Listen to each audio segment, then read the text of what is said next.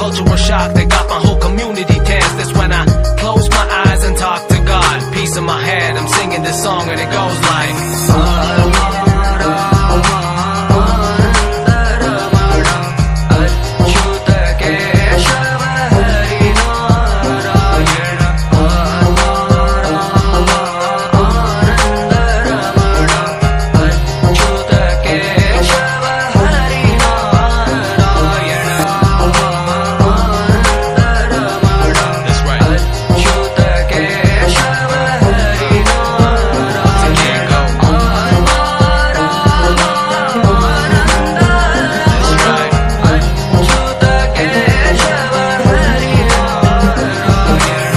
I'm being frank and I'm speaking my mind naked every day on my knees praying to God that I make it. The only hope that keep me going is I know I'm artistic, The levels extreme. My haters agree I'm God gifted.